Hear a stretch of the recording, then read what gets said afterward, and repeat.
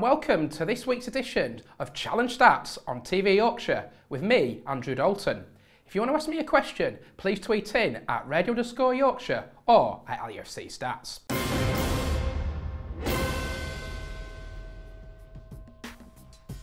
Crikey, yeah, first ever meeting between the two sides in 1924. I think it would have been minus 60 odd by then. Uh, ooh, uh, 2-1 lead, that's a complete guess. Oh, that was my second guess.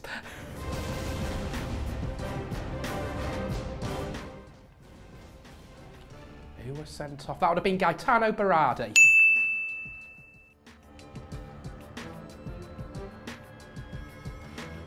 Uh, let's have a think. Uh, 078 was 4 0 and 1 0. 089 was 1 2 and 1 0.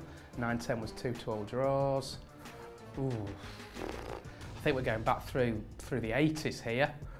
Uh, ooh. 22nd of January 85, that's a complete guess. Ooh, right, right ball area. Tough ones these this week. Crikey, White's biggest defeat. I know we've had some good wins against Huddersfield down the years. I know we've won a couple of games uh, by four. Uh, I will go 3-0 Huddersfield. Uh, 70s, 1971. Crikey. oh, wow. Wow. Th th these are really tough ones this week. Really tough ones.